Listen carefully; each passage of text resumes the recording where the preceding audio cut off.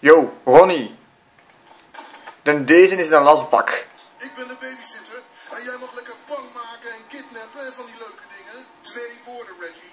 Niet eerlijk. Dan baas maar mij veel meer dan jou. En dat is niet mijn schuld.